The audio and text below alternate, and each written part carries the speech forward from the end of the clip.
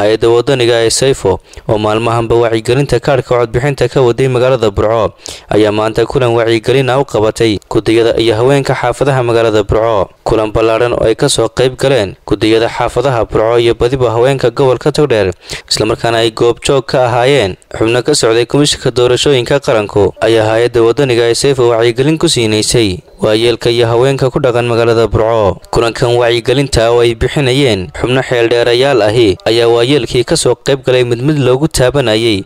Waxyaabaha looga baahan yahay muwaadin ka qaadanaya kaadhka codbixinta liibaan jaamac oo ka mid a saraakiisha hay'adda wadaniga sayfo oo bixinaya casharadani ayaa waxaa hadaladiisii ka mid ahaa waxay ku kala duwan yihiin haween kii hore kaarkii aqoonsiga ayuu ahaa ee qofku qaadanayay uula qabanayay goomuu doonaya ama hadduu qof ku damiinanaya ama hadduu lacagta qayb ka nahay. Waayo wan wada codaynaa dhammaanteedna soo maha baan u codaynaa kala duwan. Qof qaar dumar u coday qaar rag u coday qaar xisbiyada kala duwan u codaya.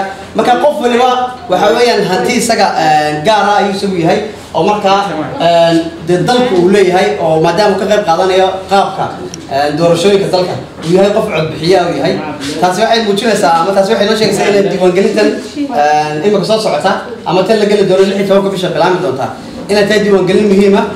Dhanka kale waxay su'aalo weydiinayeen dadkii kulankani ka soo qayb galay oo u badnaa haween iyo dhalinyaro xubnihii casharadani bixinayay iyo xubnihii ka socday komishinka doorashooyinka qaranku iyagoona mid mid looga jawaabayay su'aalahaasi. Waxaana ugu horeyn la hadlay dadkii wacyigelinta loo qabanayay xubno ka socday komishinka doorashooyinka qaranka iyagoona faahfaahin dheer uga bixiyey qaabka ay codbixintu u dhici doonto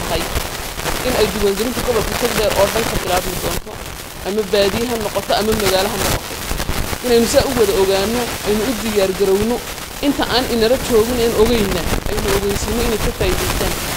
Diiwaangelintaas oo ah in qof wal oo muwaadin ah buuxiyo shuruudaha maxaa dhahdaye qaadashada kaadhka codbixintu uu isdiiwaangeliyo waxa keliya ta commissionka shaqadiisu ay tahay in uu diiwaangeliyo qof wal oo reer somalilan ah buuxiyo shuruudaha maxaa dhahdaye diiwaangelinta.